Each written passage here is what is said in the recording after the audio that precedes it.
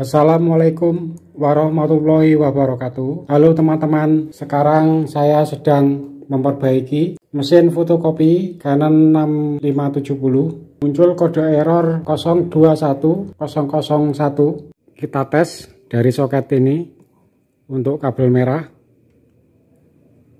Ini ke DC Kita lepas. Kita ukur untuk jalur positifnya ya atau warna merah kita cari ke DC ini pada avometer harus menunjukkan pergerakan penuh ya pada jarumnya. Kita tes pada komponen diode 16, 17, 18 ini untuk jalur positifnya ya Kenapa tegangan 12 volt hilang? Dikarenakan komponen transistor Q29 ini tidak bekerja.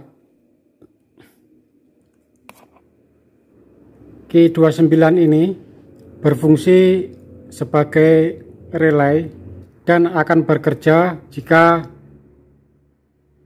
transistor Q30 aktif jadi transistor Q30 ini berfungsi memindahkan sinyal transistor Q29 ini sebagai relay untuk tegangan 12 volt sedangkan untuk transistor Q28 yang berfungsi sebagai relay untuk tegangan 24 volt Kedua komponen ini, Q28 dan Q29 akan bekerja dengan perintah pada transistor Q30 ini untuk semua komponen relay. Di sini menggunakan transistor B1067 untuk kaki nomor satu. Ini input ya yang terhubung dengan sekring atau fuse. Ya fuse ini. Dan untuk Q28 ini untuk tegangan 24 volt. Jika diukur maka akan terhubung dengan fuse ini ya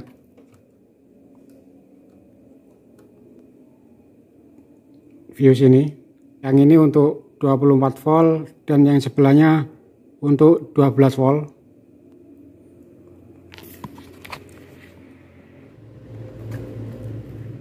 Pada konektor soket input dari power supply ada kabel merah dan oranye. Untuk warna merah ini dengan tegangan 24 volt dan warna oranye 12 volt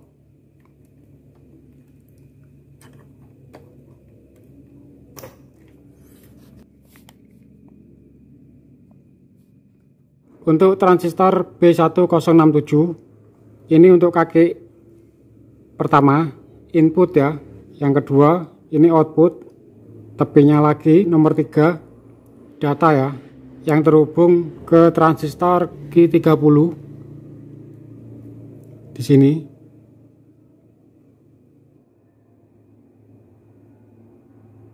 Ini untuk Q30 dan dibalik PCB ini ada komponen resistor pada umumnya untuk komponen R ini di balik PCB ini terdapat jalur korosi ya untuk sambungan pada transistor Q30 ini dari Q28 ini ya nampak.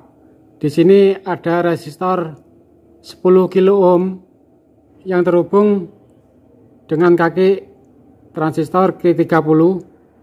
Nah, di sini jika jalur ini terputus, maka yang terjadi adalah transistor Q29 tidak akan bekerja.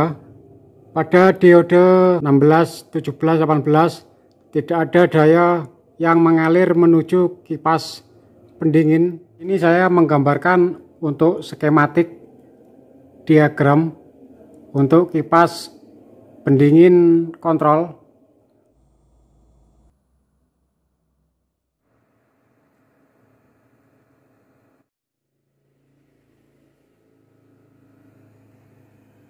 ini ada tegangan 24 volt. Pada Q30 ini ya. Sedangkan untuk 12 volt hilang. Ini di sini. Di R nya ini ada tegangan 12 volt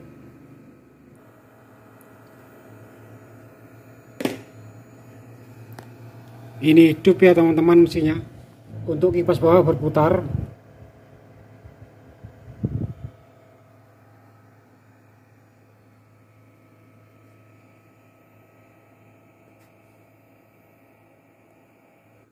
DC nya kita lepas.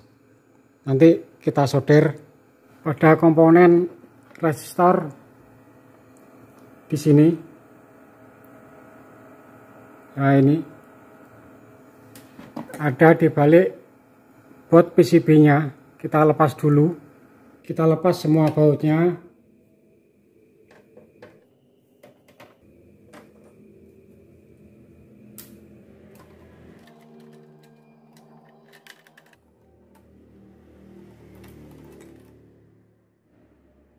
Ini pada jalur PCB nya ini putus. Harus kita jumper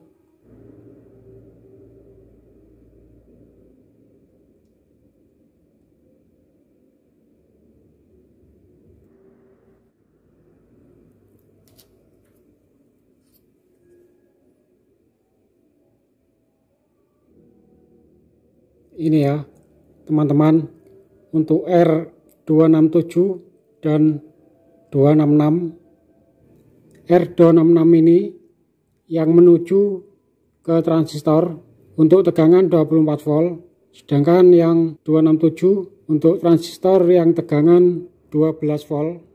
Ini ada masalah pada sambungan mainboard ya atas dan bawah. Kita ukur untuk komponen yang 10k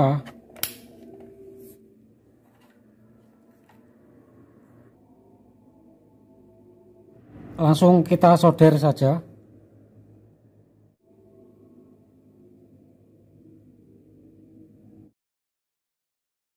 Jadi yang putus untuk jalur ini ya. Ini putus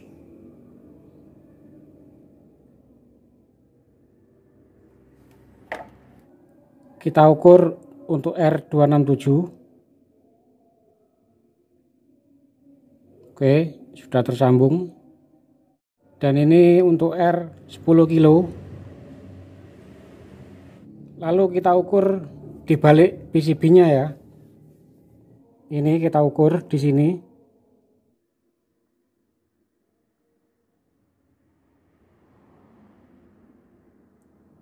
Oke sudah terhubung dan ini untuk yang 10 kilo.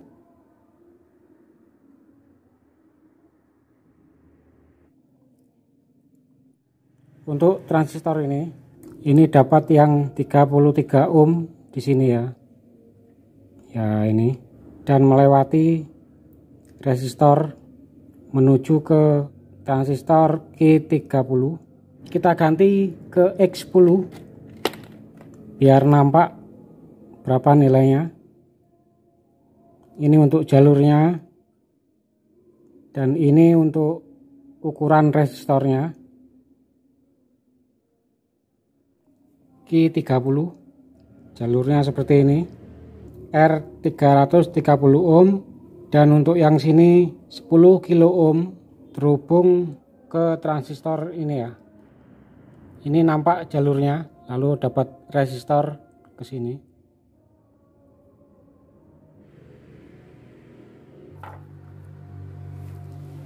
kita pasang ya sini pada kasus ini sekring normal. Di sini terdapat putus jalur ya pada PCB. Ini sudah saya order.